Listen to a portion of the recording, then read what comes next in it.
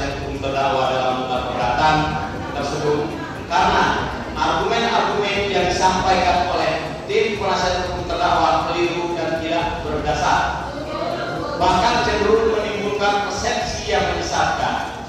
Namun karena persidangan ini menjadi atensi publik secara luas dan untuk mencegah timbulnya kesalahan kesalahan persepsi dari publik dan pihak-pihak lain yang terkait